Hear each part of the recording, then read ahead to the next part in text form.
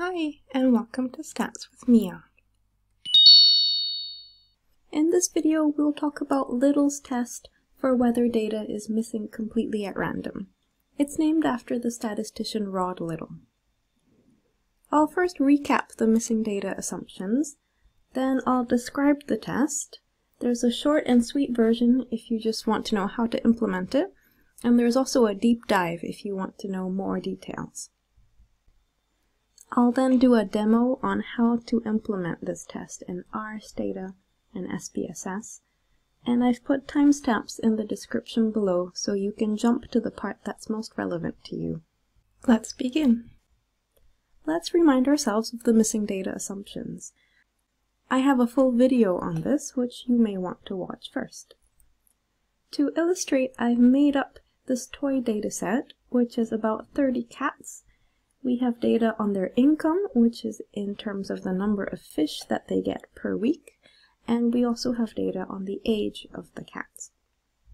And I've created these two variables so that they are independent, and the income is normally distributed with mean 4, variance 4, and the age has mean 9 and variance 9.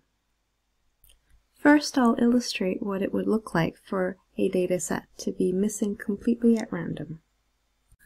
I've just randomly selected a number of incomes and a number of ages to be missing, and there's no pattern behind it at all.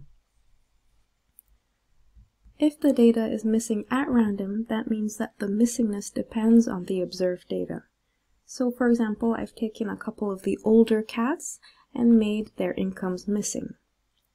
Crucially, there's potential to recover some of the information from the missing data because the missingness depends on data that's observed.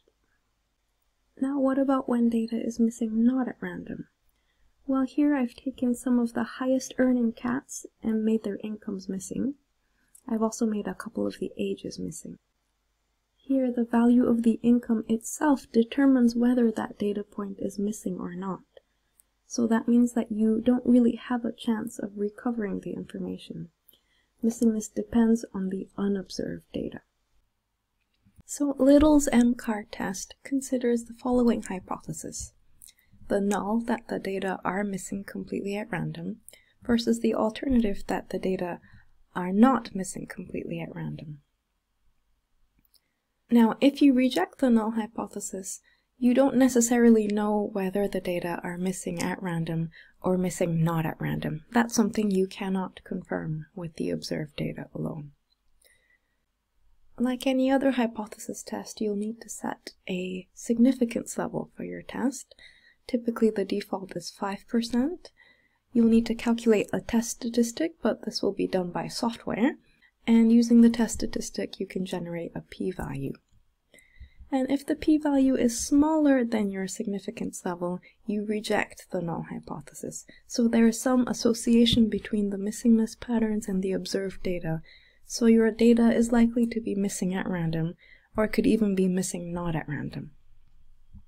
If your p-value is bigger than the significance level, you do not reject the null hypothesis, and you can reasonably assume that your data are missing completely at random. Let's look more closely at what's happening in this test. Whenever there's missing data, we can look at the patterns of missingness. In our example with income and age, there's four possible patterns. In the first pattern, you have the cats that have both income and age observed, like you see shown in green. The second pattern is that income is observed, but age is missing, like you see for these couple of cases. In the third example, you have income missing but age observed. And finally, it's possible that both income and age are missing, although we don't have any examples of this in our dataset. Now I'm going to write down a bit more information about each of these patterns, keeping in mind this example. So little j is the index of the pattern, and capital J is the total number of patterns we have in our data. So for us, this is 3. I'm going to denote by pj the number of variables that are observed in each of the patterns. And p is the total number of variables, so here we've got two variables. nj is the number of cats that we have in each of these patterns. And what I'm going to do is write down the sample mean for each variable in each of the missing data patterns. Now this is a fabricated example, so I can compare these sample means from the dataset to the true means, and I can also write down the true variance-covariance matrix.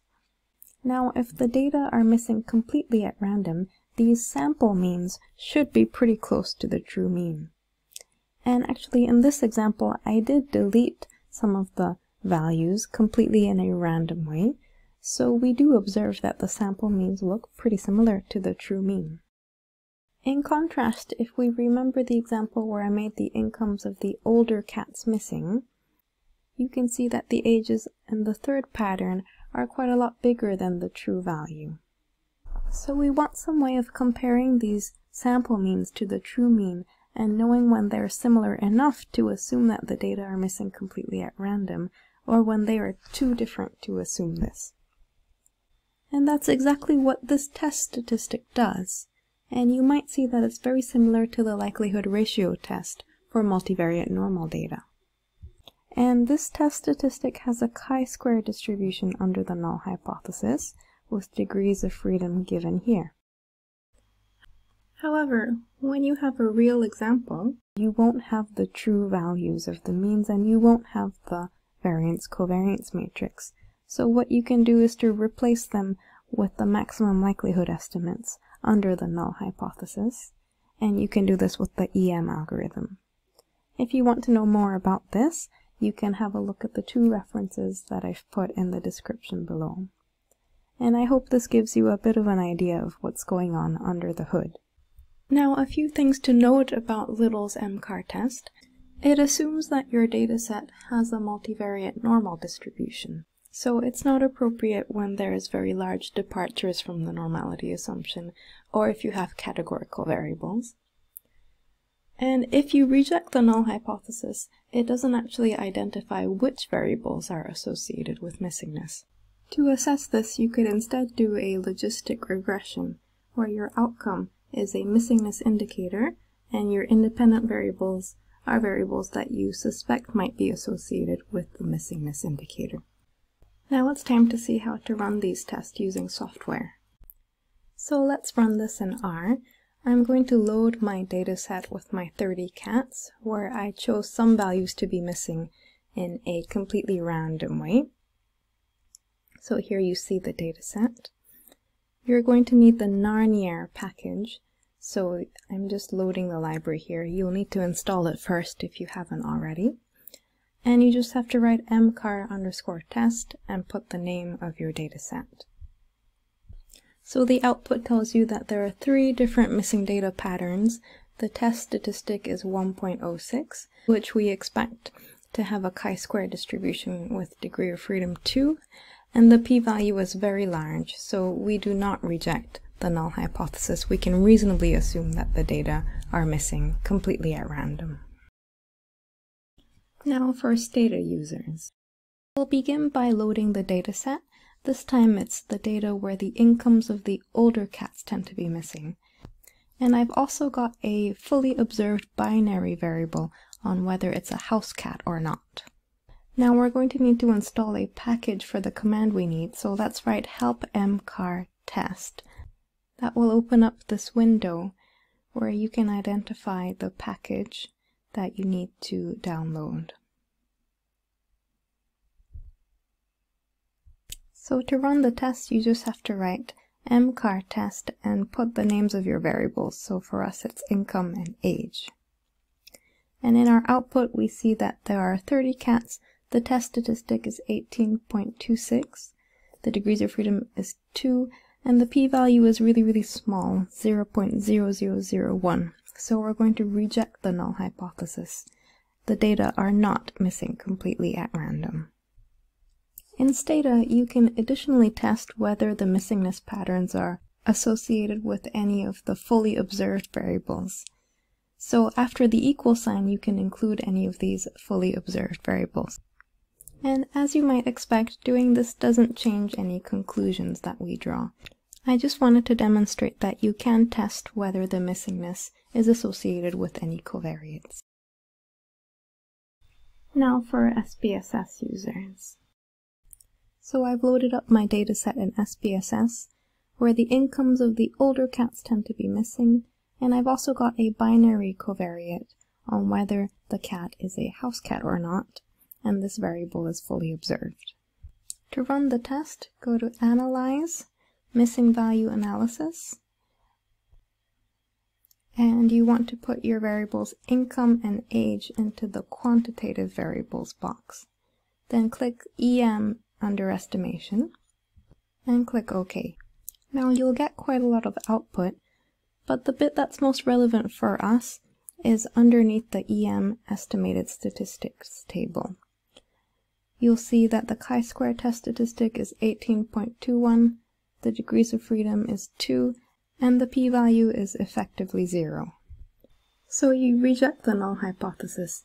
The data are not missing completely at random.